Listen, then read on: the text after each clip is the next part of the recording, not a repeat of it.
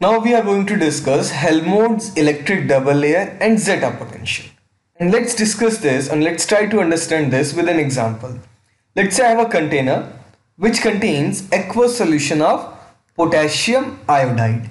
That means the solution contains lot of potassium and iodide ions. Now into this solution I add silver nitrate solutions drop wise. So when I add a single drop of AgNO3 or single particle of AgNO3, it will go into solution and dissociate into Ag positive ions and NO3 negative ions.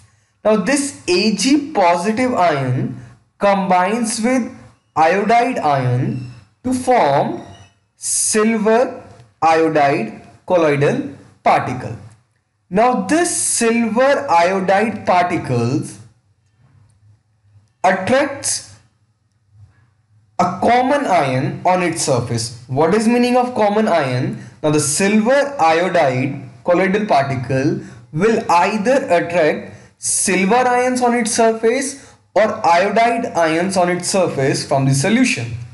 But because silver ions are not present, I am adding silver nitrate dropwise and whatever silver iodide is introduced into the solution gets attached with the iodide ion to form AgI. So, I, so silver ions are not present there in the solution nexus but iodide ions are there.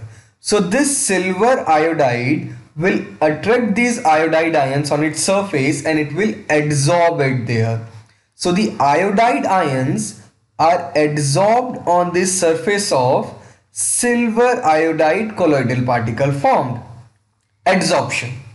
Because of which the colloidal particle of silver iodide becomes negatively charged. Now this negatively charged particle start attracting oppositely charged ions, other oppositely charged ion toward itself from the solution. Now what are the other oppositely charged ions present in this solution? Yes, that is the positively charged potassium ions. So these positively charged potassium ions come and surround this negatively charged silver iodide uh, colloidal particle and they form a circular layer around it. And this layer of potassium ion is almost fixed. That means it doesn't move because of attraction by the iodide ions present on the surface of silver iodide colloidal particles. On the other hand the other ions the other potassium and, uh, and iodide ions which are not that much strongly uh, strongly attracted they form a different layer or it is called a diffused layer.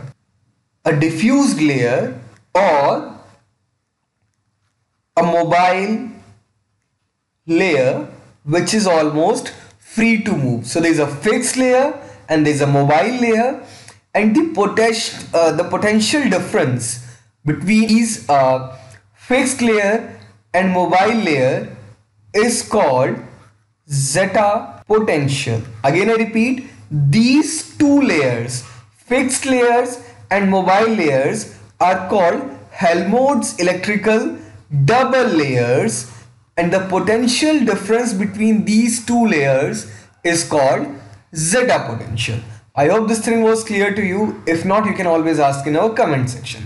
And stay tuned for more videos of organic, inorganic and physical chemistry and please don't forget to subscribe. Thanks.